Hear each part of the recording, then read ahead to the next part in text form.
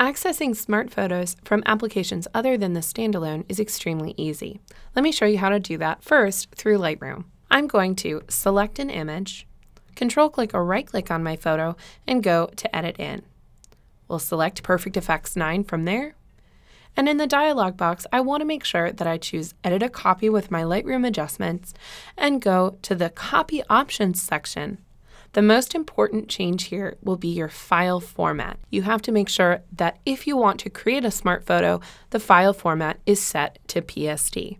Once I'm done and I click Edit, it will pop up this dialog box asking if I'd like to choose Normal Photo or Smart Photo. You also have the option of choosing this always use this option checkbox. If you know you always want to access Perfect Effects 9 Premium by using Smart Photos, you can check that box and every single time you bring a PSD into Effects, it will always select Smart Photo.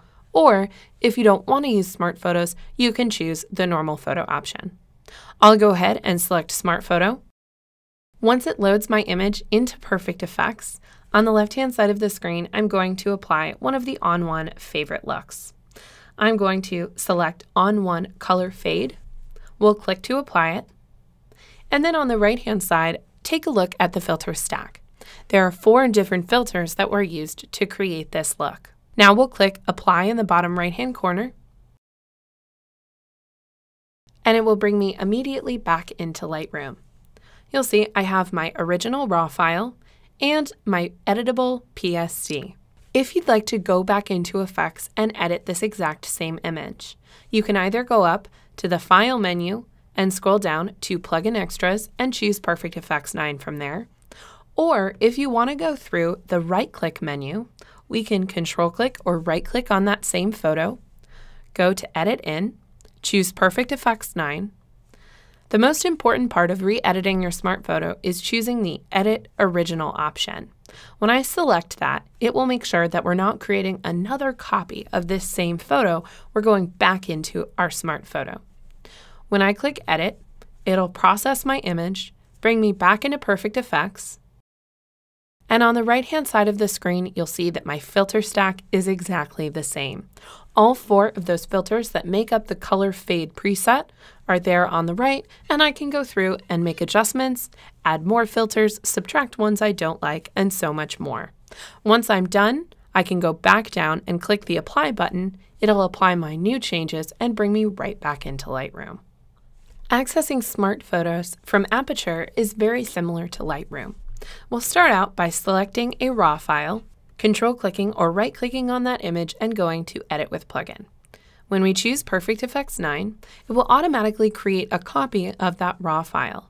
It'll first ask me whether I'd like to edit a smart photo or a normal photo. I also have the Always Use This option checkbox here that I can select as well. I'm going to choose Smart Photo. It'll take my image into Effects, and then on the left-hand side, let's go ahead and apply one of the ON1 favorite looks. I'm going to choose the matte black and white for this image, which I'll click to apply.